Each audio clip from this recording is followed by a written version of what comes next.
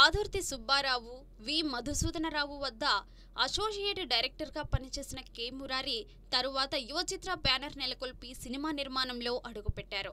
తొలి ప్రయత్నంగా కె. విశ్వనాథ్ దర్శకత్వంలో సీతామాలక్ష్మి చిత్రం నిర్మించారు. బిఎన్ రెడ్డి మల్లీశ్వరి సినిమాను సోషలైజ్ చేసి తీసినట్టుగా ఉంటుంది.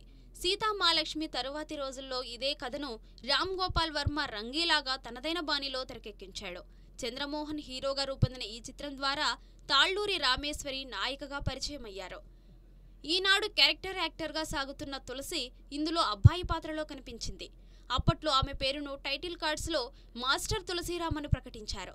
పంతొమ్మిది వందల డెబ్బై ఎనిమిది జూలై ఇరవై ఏడున విడుదలైన సీతామహాలక్ష్మి కేవి మహదేవన్ బాణీల్లో భలేగా ఆకట్టుకుంది.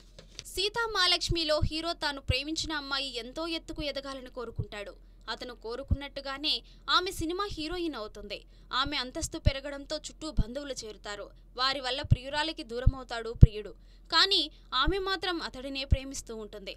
చివరకు తన హోదాయే ప్రేమకు అడ్డు అని తెలుసుకున్న నాయిక దానిని వదులుకొని మామూలు సీతామహాలక్ష్మిగా ప్రేమించిన వాడి దగ్గరకు వెళ్ళడంతో కథ సుఖాంతమవుతుంది. దేవులపల్లి వేటూరి రాసిన పాటలు విశేషాదరణ చూరుకున్నాయి సీతామహాలక్ష్మి మ్యూజికల్ హిట్గా నిలిచింది. సీతామాలక్ష్మి తక్కువ బడ్జెట్తో రూపొంది మంచి విజయం సాధించింది. దాంతో యువ చిత్ర మురారి తరువాతి రోజుల్లోనూ తన అభిరుచికి తగ్గ చిత్రాలు నిర్మిస్తూ సాగారు. తన చివరి సినిమా నారీ నారీ నడుమ మురారి దాకా కేవి మహదేవన్ను సంగీతంతోనే సాగారు కె మురారి. దాదాపు అన్ని మ్యూజికల్ హిట్స్నే అందించి ప్రేక్షకులను విశేషంగా ఆకట్టుకున్నారు మురారి. ఈ కథ తరువాత తమిళంలో ఎనిప్పడిగల్ పేరుతోనూ హిందీలో సితారా పేరుతోనూ రీమేక్ అయింది. ఏది ఏమైనా విశ్వనాథ్ తెరకెక్కించిన సీతామహాలక్ష్మి యువచిత్ర బ్యానర్ను నిలిపిన సినిమాగా నిలిచింది.